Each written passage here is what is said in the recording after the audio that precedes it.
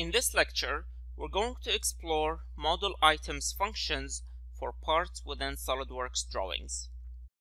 With model items, we will be able to easily and automatically export all dimensions we added when modeling a part into a drawing. So with few clicks, we can go from the non-dimensioned drawings on the left to the fully dimensioned drawing on the right. Let's check out how this works. You can download this drawing and the part from the download section linked to this lecture. Using model items is quite simple. In the top we can go to the annotation tab and then we'll find the option model items. So let's click on it and see.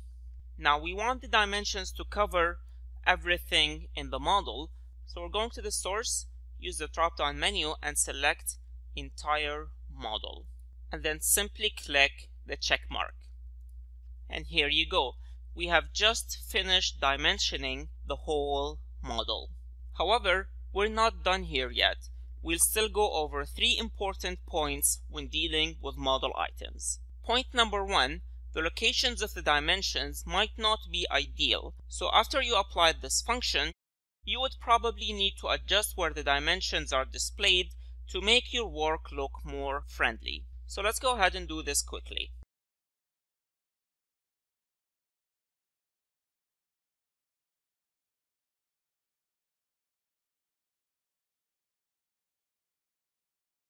Okay, now this looks a bit better. Point number two, the dimensions imported are the exact ones inputted when the designer designed the part. This has a very big advantage because this way we are guaranteeing the capture of the design intent in our drawings.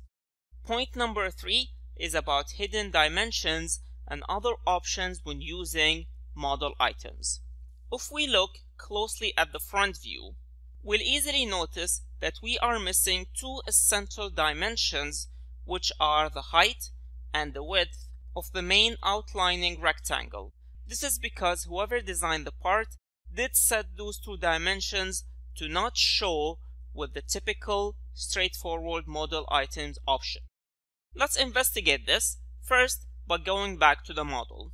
So if I right click on the drawing I can select open part and this will open the original part. Now in the design tree I'll go back to my first boss extrude and go back to the sketch. Let's go ahead and enter the edit view.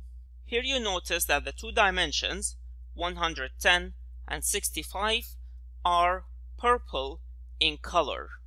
And if I double click on one, you will notice that this option on the far right is toggled off. And this option says mark dimension to be imported into a drawing. This is usually toggled on by default. However, if when designing a part you turn this one off, then this specific dimension will not be imported as we use model items. So in case you want this number to show up, we have two ways to do it.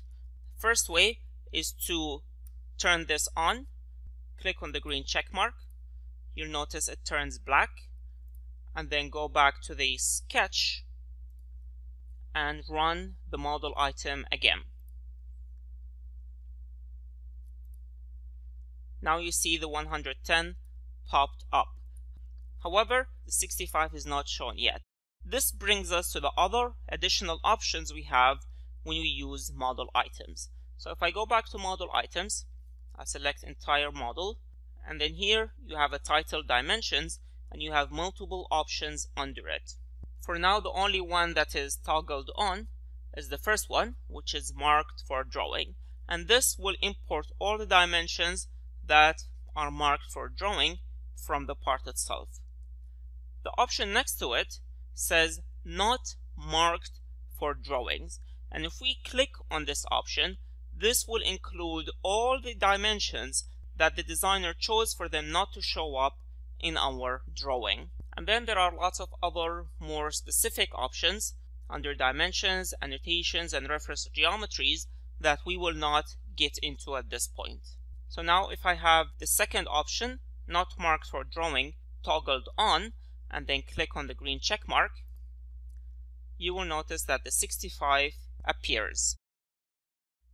Now in my perspective, this information presented in the drawing as it is now are sufficient to deliver my personal design intent. The only thing we have left is to more aesthetically fix our drawing.